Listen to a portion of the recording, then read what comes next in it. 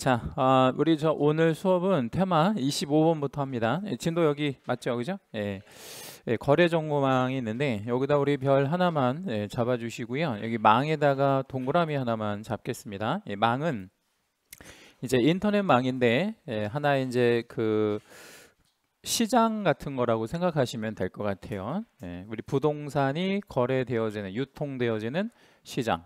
근데 이 시장이 굉장히 특이한 시장인 게 뭐냐면 이 시장 운영자가 있잖아요. 거래정보 사업자가 있는데 이 시장을 잘 보시면 누구하고 누가 이용 직접적으로 이용할 수 있도록 되어 있죠.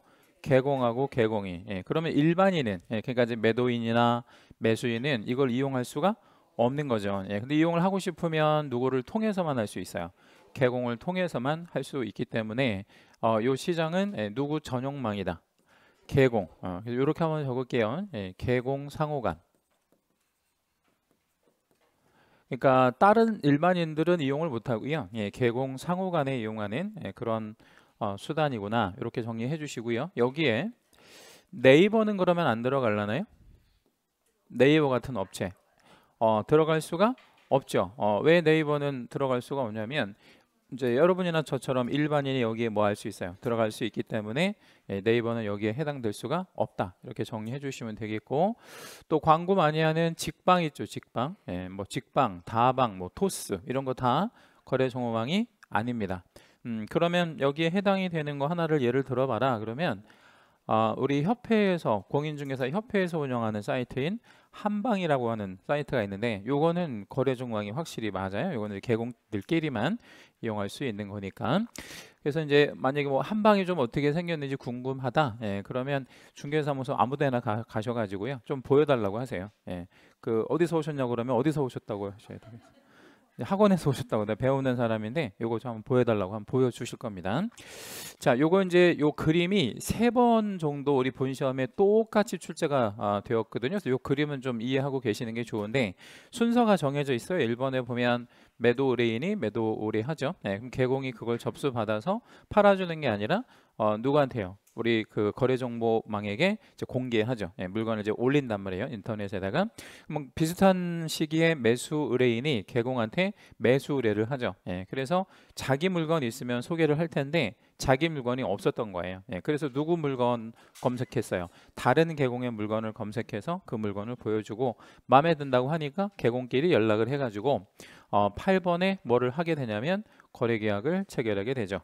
질문이요. 예, 거래계약 체결할 때 어, 몇 명이 모여야 되죠? 여기 8번에 거래계약 체결할 때 어, 4명이 모이죠. 어떻게 4명? 매도, 매수, 매도 쪽 개공, 매수 쪽 개공. 예, 그러면 이게 지금 소위 무슨 중개를 하고 있다라는 걸 알 수 있냐면 공동 중개. 예, 그러니까 거래 정보망은 어, 공동 중개를 하는 예, 공동 중개를 가능토록 하게 만드는 수단이다. 위에 개공, 서울 개공, 아래 개공, 부산 개공. 서울과 부산 개공이어도 상관없나요? 예, 그럼요. 인터넷으로 하는 거니까 실시간으로 어, 하, 되겠죠. 그래서 계약서 쓰는 거는 뭐 서울에서 만나든 뭐 부산에서 만나든 아니면 뭐 중간에 대전에서 만나든 아무 데나 만나서 쓰면 되는 거고요. 근데 이제 시험에 세 번이나 뭐가 나왔냐면 얘가 나왔어요. 얘.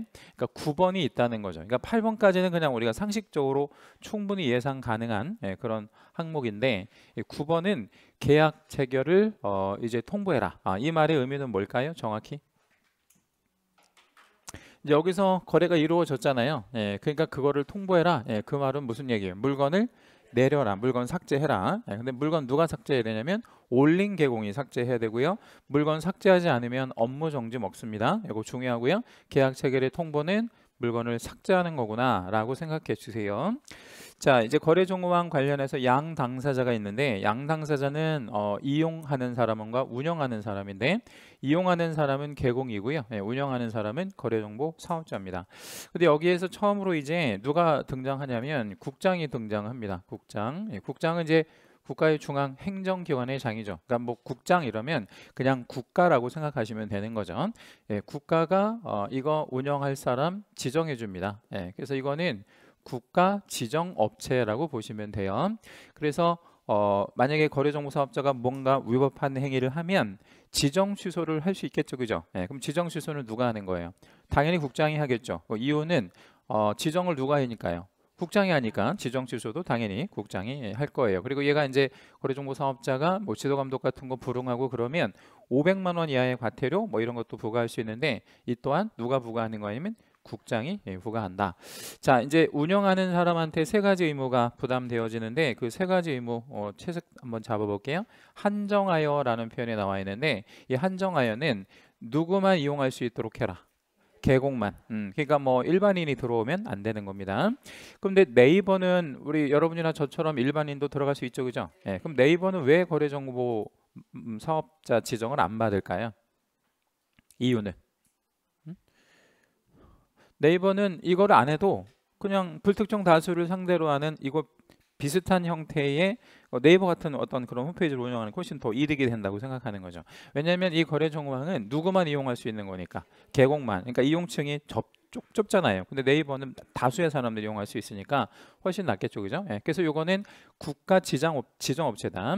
그리고 다르게는 어, 개공이 의뢰한 정보하고 다르지 않게 해주라는 거죠. 다르게라는 것은 다르게 하라는 게 아니라 다르게 하지 않도록 하고 그 다음에 개공과 개공을 뭐 하지 않게 차별하지 않게 차별적이지 않게 해야 된다. 그래서 요거 세 개 중에서 하나라도 위반을 어, 하게 되면 거래정보 사업자가 가장 두려워하는 건 뭐예요? 지정 취소, 어, 지정 취소에다가 몇년 몇천의 형벌이 있냐면 1년 1천의 형벌 이렇게 이제 병과되어집니다. 여기다가 별 하나만 잡아주시고요. 네, 거래정보 사업자는 굉장히 세게 처벌을 받습니다. 하나여 다르게 차별적, 하나여 다르게 차별적 네, 꼭 기억해 주시고 중요한 표현들입니다. 여기다도 별 한번 잡아 주시고요. 이거를 이용하는 개공은 또 어떤 의무를 부담하느냐 여기도 채색 한 번만 잡아 주실 건데 어, 없는 정보, 뭐 허위 정보 이런 거 같은 거 공개하면 안 돼요. 네, 그리고 거래 사실이 발생이 되면 지체 없이 뭐 해줘야 돼요? 통보 해줘야 되는데 이거 위반하게 되면 뭐 받을 수 있다고 그랬죠? 업무 정지. 예, 여기다 우리 별 하나만 예, 잡아 주시겠습니다. 업무 정지 중에서는 얘가 제일 잘 나옵니다. 자, 어찌됐든 간에 이제 망을 사이에 두고 이용하는 사람과 운영하는 사람들 사이에 여러 가지 의무 뭐 이런 것들이 있다라는 거 어, 알고 계시면 되겠고요. 자, 뒷장 한번 넘겨 볼게요. 거래정보 사업자 지정 절차가 이제 있는데 예, 이 거래정보 사업자가 되려면 통신망을 갖고 있어야 돼요. 그래서 통신 사업자여야 되는데 인터넷망 가지고 있어야 된다. 그래서 이제 통신망을 가지고 있는 사람이 뭐 혹은 법인이 국장한테 이제 지정을 신청하죠. 그럼 국장이 어, 요건을 검토를 해봅니다. 이 지정 요건이라고 하는 거 여기에 나와 있는 이 지정 요건 네 가지가 있는데 요게 이쪽에서는 좀 제일 중요하다고 볼 수 있어요. 지정 요건. 왜냐하면 우리 개공하고 밀접한 관련이 있기 때문에 요건 조금 이따 다시 보기로 하고 지정 요건을 검토해 준 다음에 어, 지정을 해주게 되는데 지정을 뭐 우리 그 거래정보 사업자 입장에서 보면 받은 날이 되겠죠. 근데 이게 며칠 안에 에, 하도록 되어 있냐면 30일. 예, 여기다 별 한번 해주시고. 자 30일은 누구한테 주어진 기간인가요? 국장한테. 예, 그럼 국장은 관청이에요? 관청은 아닌 거예요 관청이죠. 예, 그래서 국장은 국가의 중앙 행정 기관의 관청이니까 관청에 주어진 기간이 30일. 그러니까 30일 안에 뭘 해야 된다? 지정 처분을 해야 된다. 그리고요, 어, 이렇게 지정을 받으면 예, 그 이어서 뭘 이제 우리 승인 얻어야 되냐면 운영 규정을 만들어서 승인을 얻어야 되는데 이 운영 규정 승인은 몇 개월 이내 해야 되냐면 3개월. 여기다 우리 별 하나만 해주시고요. 자, 3개월은 이런 의미예요. 3개월 동안 지정받고 3개월 동안 뭐를 만들어? 운영 규정을 만들어서 장관한테 승인을 얻어야 되잖아요. 예, 그럼 승인을 받는 주체는 누구예요? 왜 또 개공이 받아요? 어? 거래정보 사업자여야 하겠죠. 그래서 거래정보 사업자면 민이다 아니면 관이다. 얘는 민인 거죠. 관청은 아니잖아요. 그래서 민, 예, 민이라고 쓸게요. 예, 그러면 민이 가는 갖는 기간은 길게 짧게. 길게 관청이 갖는 기간은 짧게 예, 그렇게 여러분 기억하고 계시면 오래 예, 기억에 남을 수 있고요. 30일과 3개월의 위치 바꾸는 문제 잘 나오고요. 이거 조심하셔야 되는데 이 날짜를 암기할 필요는 전혀 없어요. 왜냐하면 30일을 뭐 29일, 27일 이렇게 안 바꾼단 말이에요. 이것도 뭐 2개월, 1개월 이거 안 바꾸고요. 그러면 바꿔봐야 3개월하고 며칠, 30일의 위치 바꾸는 문제 그것만 주의하시면 되니까 미는 기간을 길게, 관은 기간을 짧게. 자, 운영 규정 안에는 뭐를 포함시키냐면 회비를 포함시킵니다. 회비. 자, 여기서 회비는 누가 누구한테 내는 돈? 개공이 거래정보 사업자한테 내는 돈. 보통 이제 연회비 형태로 이렇게 예, 내는데 그 회비를 누가 승인을 해주겠다는 거예요. 국장이, 예, 국장이. 예, 그러니까 만약에 뭐 연회비가 100만 원이었는데 150만 원으로 올리겠다, 50%를 올리겠다는 거죠. 그러면 국장이 승인을 해줄까요, 안 해줄까요? 1년에 50% 올리는 거.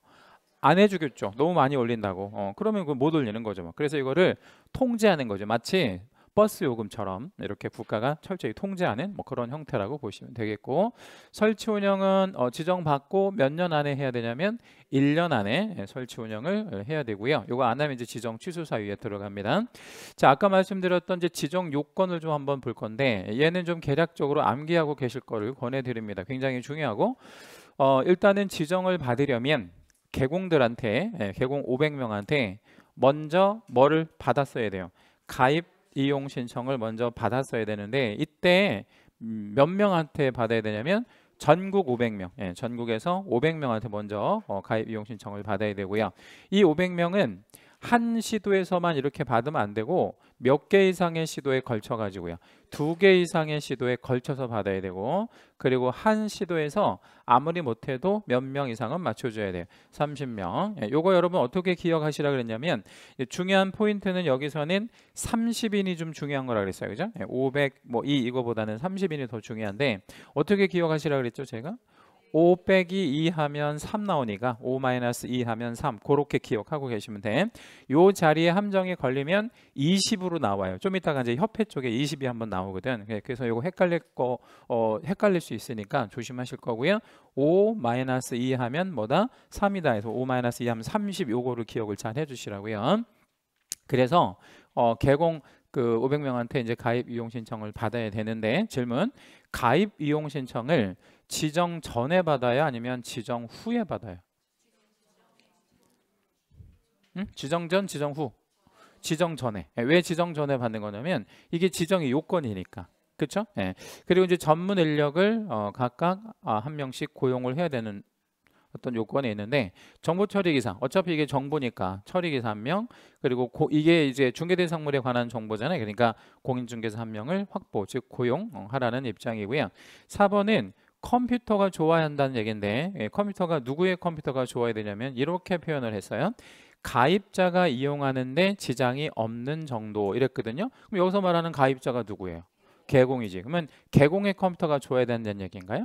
그거는 아니고 개공이 이용하는 데 지장이 없는 컴퓨터니까 누구의 거래정보 사업자의 컴퓨터가 좋아야 되겠죠, 그죠? 예, 그런 의미.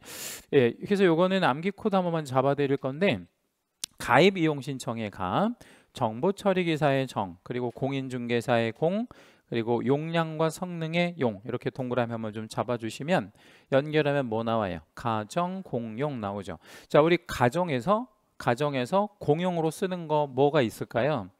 컴퓨터 있죠 컴퓨터. 컴퓨터 하면 요거 거래 정보망 연상시키시 좋잖아요 그죠? 그래서 가정에서 공용으로 쓰는 컴퓨터를 어, 생각하셔가지고 가정공영 이거 거래정보 사업자에 대한 지정 요건이구나 이렇게 정리해 주시고 나머지도 물론 알고는 계셔야 되는데 숫자 조합이 되게 잘 나와요. 가로 넣기로 어떻게 잘 나오니까 꼭 기억해 주시고.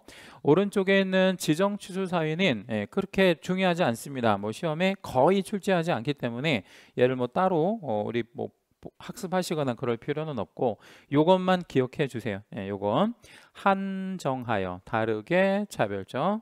그러니까 이거는 한정하여는 누구에 한하여 개공에 한하여 이용할 수 있도록 하고 예, 다르게는 다르게 하지 말아야 되고 차별은요.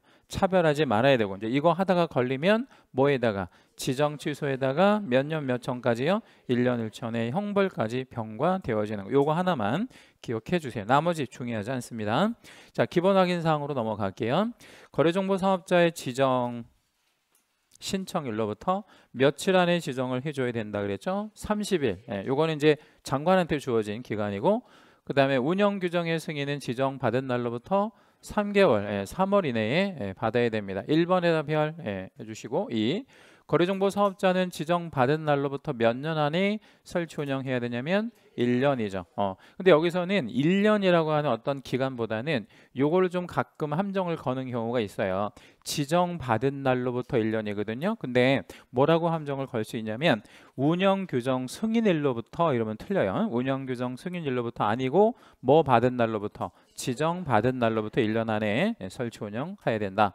자, 3번에다가도 별 한번 해 주시고요. 가입 이용 신청은 전국에서 몇 명한테 받아야 된다 그랬죠? 500. 예, 그다음에 몇 개 이상의 시도에 걸쳐서 두 개. 예, 그리고 각 시도에서는 30명 이상의 개공이 참여